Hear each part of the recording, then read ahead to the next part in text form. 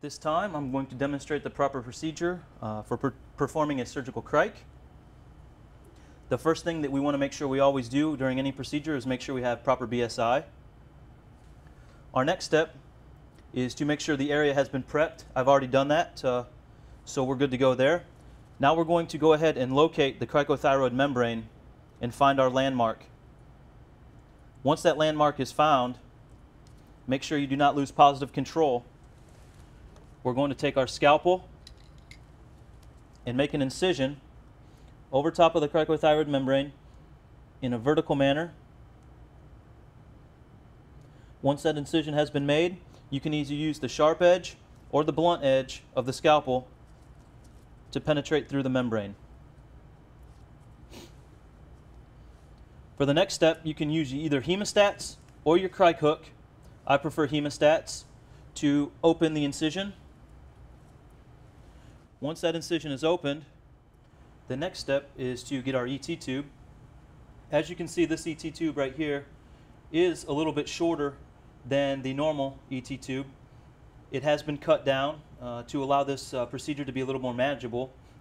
The one caution is just to make sure when cutting this tube that we don't cut the inflation tube.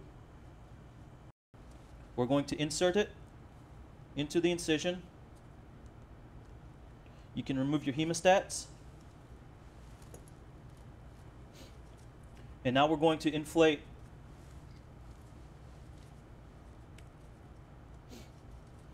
As you can see, I still have not lost positive control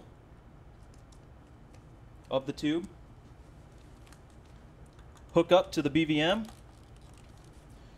And we want to either check for rise and fall of the chest, or you can check the tube for condensation as you ventilate your patient. We do have positive rise and fall of the chest. So at this time, what we will do is take our 2 by 2s and they've already been pre-cut. You're going to put one facing up and one facing down to help protect the incision site. Now taking your tape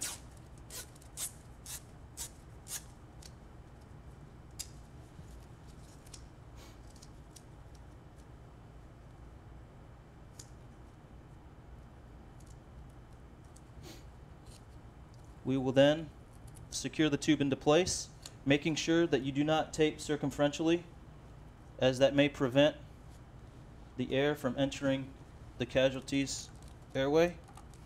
Hook our BVM back up and continue to ventilate our patient.